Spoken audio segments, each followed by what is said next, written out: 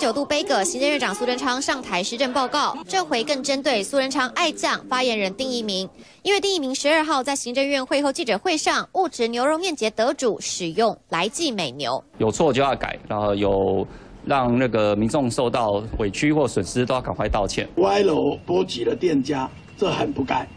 那丁华人已经诚意的道歉，那店家也接受。我们觉得很不好意思，年轻人啊，也像任何人一样，难免会犯错。苏贞昌亲自灭火，姿态放低再放低，为属下道歉，但在野党恐怕不买单。再加上丁一鸣十二号傍晚亲自到板桥牛肉面店登门道歉，也在网络下单一百份冷冻调理包。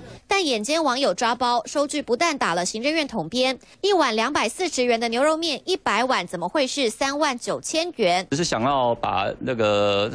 订单哦，给老板当一个见面礼啊，啊，跟他顺便跟他致歉了。但是我因为出门前没有讲清楚，所以呃，秘书在登载的时候就习惯性的放了统编。但是其实这一笔钱哦，是从头到尾我都说要自己出啊。中央厨房，然后是网络订购，那我了解是三包三百九哈。第一名也在脸书秀出重新建立的订单已经没有统编。行政院脸书也表示，为避免民众误解，已经将有错误讯息的行政院记者会影像下架。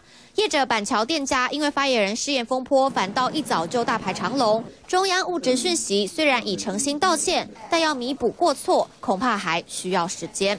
三选刘婷、张慧琪报道。